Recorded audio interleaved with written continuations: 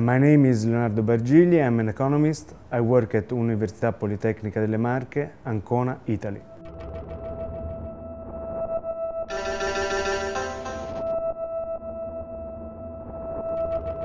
There are many ways in which the economy has become more interconnected.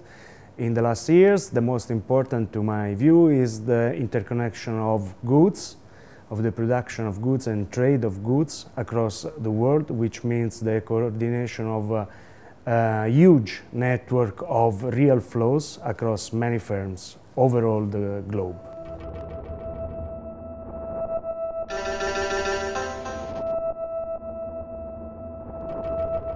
Virtually any economic system can be modeled as a network. Uh, the most well-known examples are financial networks, but the most challenging, to my view, is uh, the production of real goods.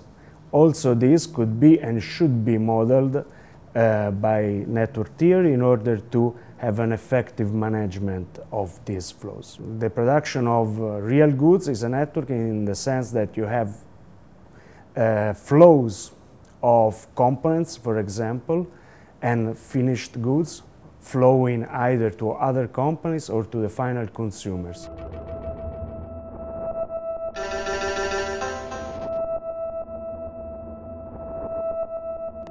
We have um, collected uh, network data uh, on credit networks. They um, uh, represent uh, a couple of entities coded in some, in some way and the quantity which is the credit or debt linking the two, the two entities. This is a challenging issue because uh, we need to gain the cooperation of uh, central banks and of international institutions, which is something that we are all very uh, involved in.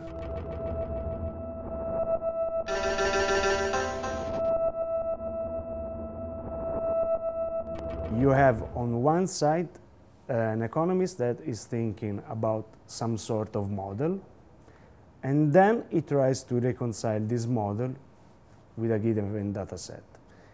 Nobody is really thinking of theorizing out of data or to join very strongly the two sides in a way that you don't introduce arbitrary hypotheses in, your, uh, in the empirical evidence that you have to explain.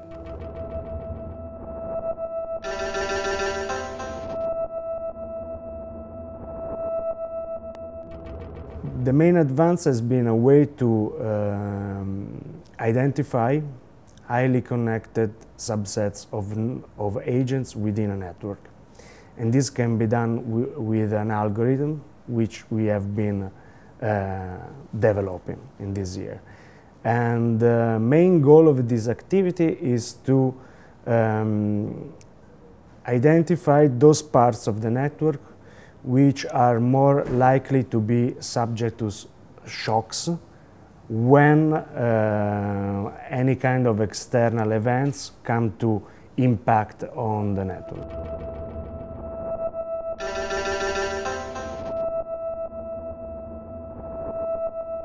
With these highly connected communities, we can, for example, um, build uh, scenarios uh, in which we have, uh, um, for example, some external shocks like market shocks on the assets of the bank, and then we see how these shocks can propagate to other banks. And in this way, we see which are um, the most systemically important nodes in, uh, in the network.